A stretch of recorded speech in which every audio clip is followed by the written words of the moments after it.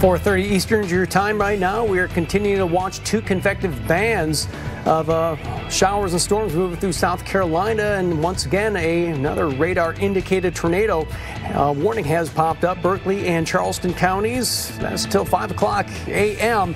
Uh, what we're looking at is right here, this little uh, couplet. Anytime you see the greens and reds together, we see a little bit of a rotation in the atmosphere. That is why that tornado warning has been issued. So take cover immediately in Berkeley and Charleston County. Also seeing a little bit of a rotation offshore as well. So would not be surprised we uh, have yet another tornado warning that could pop up as morning wears on. Tornado watch in effect for far eastern parts of South Carolina until 6 a.m. Farther to the north, tornado watch in effect until 9 a.m. Full show coming away at 5 o'clock.